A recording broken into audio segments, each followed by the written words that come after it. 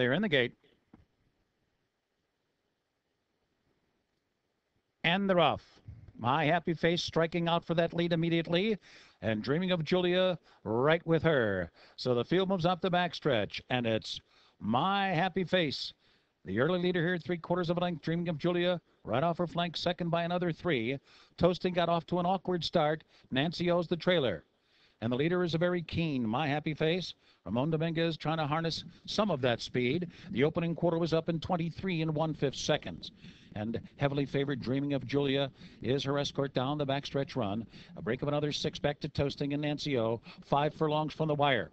My happy face now head to head with Dreaming of Julia as they move into the far turn. They have separated themselves from Toasting by better than 10 lengths. And Nancy O, the trailer, they're halfway home in 46 seconds flat. So around the far turn, my happy face and dreaming of Julia. And now they're starting to pick up that tempo with three furlongs remaining here. They're deadlocked and a break of another 10 back to toasting, moving toward the top of the stretch. It is dreaming of Julia head to head with my happy face.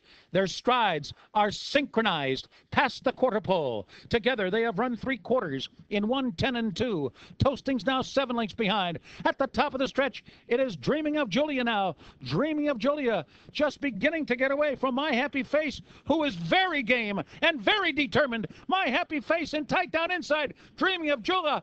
Epic stretch drive here down to the finish. My happy face dreaming of Julia. Oh, what a finish this is. And the victory goes to dreaming of Julia narrowly over the vanquished but very valiant My Happy Face. Those two in a terrific stretch drive here at Belmont Park today.